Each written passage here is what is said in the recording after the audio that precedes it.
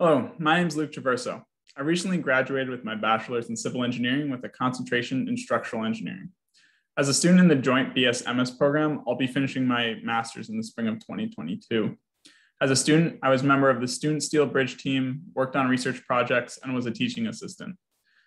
CASE has an incredible amount of opportunities that you can take advantage of if you are willing to seek them out. And they do a really good job preparing you to critically think through unique problems in the real world that don't have textbook solutions. Currently, I'm on co-op with Strinteg. It's a bridge inspection, analysis, and rehabilitation design company based in Cleveland that does work throughout the Midwest and Southern states of America. I get to climb and inspect large bridges like Lorain Carnegie downtown, and we'll be doing some inspections of other structures in Texas in the coming months. I'm really enjoying the blend of office and field work while being able to provide a public service monitoring the nation's infrastructure health.